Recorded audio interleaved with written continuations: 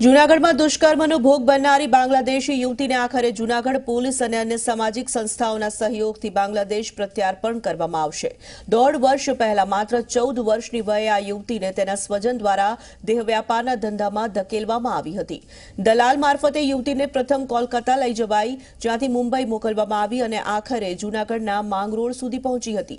આ દરમિયાન યુવતી સાથે અનેક લોકોએ દુષ્કર્મ આચર્યું, જોકે સમય સૂચકતા વાપરી યુવતીએ ભાગી છૂટી પોલીસને પોતાની આપવીતી જણાવી.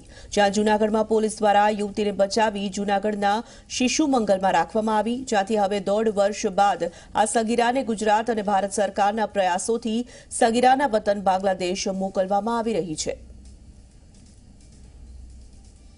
સુમંગલ સંસ્થા, જિલ્લાવાર સુરક્ષા એકમ, સ્થાનિક પોલીસ તંત્ર અને કાયદા વિભાગ અને અલગ અલગ વિભાગોના સહયોગથી આજે આપણે બાંગ્લાદેશમાં બાળકીનું પુનઃવસન કરી રહ્યા છે. દીકરી અહીંયા દોઢ વર્ષથી રહેતી હતી. ગુજરાતી પણ સારી રીતે એ બોલી શકે છે. અમુક સંજોગો વસાત એ દીકરી આપણા દેશમાં આવી ગઈ હતી. એને આપણે રાજ્ય સરકાર દ્વારા પૂરેપૂરા સાથ અને સપોર્ટ, સહકારથી એને આપણે પોતાના દેશમાં પરત મોકલવાનો આજનો આપણો કાર્યક્રમ છે.